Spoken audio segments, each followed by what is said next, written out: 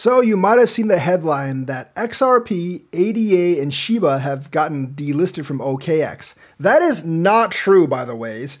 They have delisted major pairs, but they have not delisted those coins. They would be suicide to delist those coins. But that's actually a good thing because all they delisted were the Ethereum pairs and the Bitcoin pairs for those specific coins. And why is that good?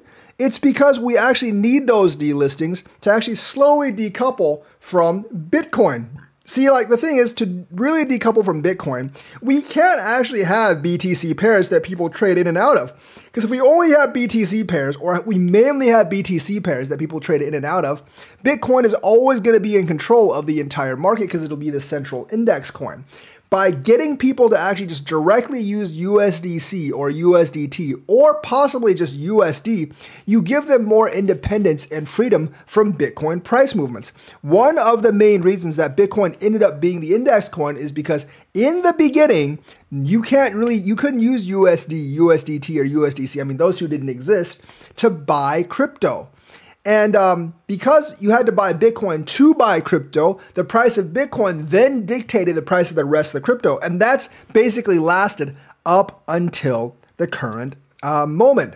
But the thing is, the more we actually have, uh, the less we have of people buying BT, uh, buying um, other cryptos BTC, the less tether BTC has on the other coins. And we definitely need the crypto uh, market to decouple from BTC and Ethereum if it was ever tethered to Ethereum. I mean, the ERC20 coins, because of the dexes, they'll never really be free of Ethereum. But like, especially for BTC, if we want them to decouple from BTC, and trust me, we need them to decouple from BTC sooner or later. Um, if you ever want that to actually happen, you definitely need to delist these pairs. So people will be forced to use USDT, USDC, or USD. So like everything will be basically um, based on USD price. And USD price isn't really going to have too much effect on the price of the other coins because USD is obviously stable. It's always going to be a dollar. It's kind of like just the anchor coin. And uh, you know, USD doesn't really go up or down. It, will just be more like the stock market, which where each individual stock doesn't completely follow how the market moves. For instance, Chipotle today went way up despite the market going way down. And in crypto, it's a lot rarer to actually have that. I mean, it like obviously stocks are based on earnings reports and stuff, and crypto doesn't have that.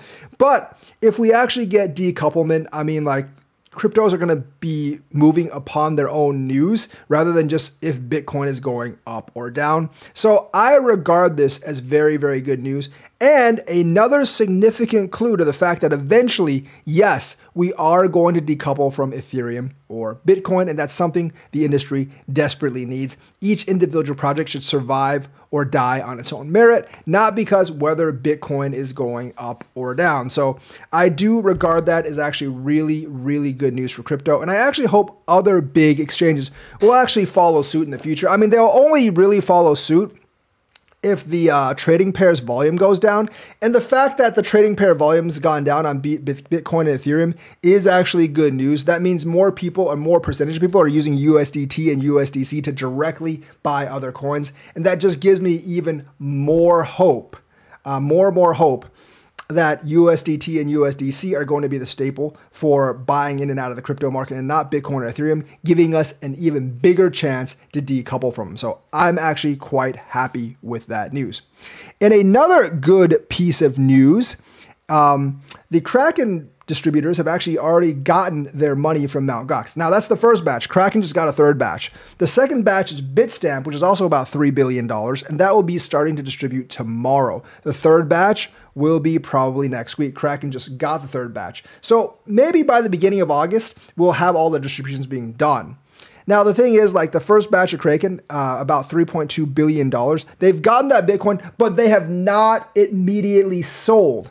And that is very, very important because a lot of people thought they were going to immediately sell when they got their batch of coins. And that has not been true at all. They are holding. Yes, there's been a couple of sales here and there, obviously, but the vast majority of the holders are actually holding and they're not dumping. That means they're either going to dump OTC later, which will slowly affect the price, or they're waiting for this Bitcoin conference weekend to be over, and then they're going to dump because we all know there's going to be a tra- uh, there's going to be probably a buy the rumor, sell the news. However, Cynthia Lummis is actually writing legislation to make crypto a strategic reserve currency, and that could definitely boost up the market some more. So maybe they're waiting for the market to hit a local top before they start dumping. Traders are aiming at 72k right now, and I think it's not impossible that we hit that. I don't know if it's likely or not, but it's not impossible that we hit that. If Trump or JD Vance say like, "Hey, we're going to make Bitcoin a strategic reserve currency," suddenly pumps it by a couple thousand points and then dumps massively right afterward after the conference because buy the rumors, sell the news.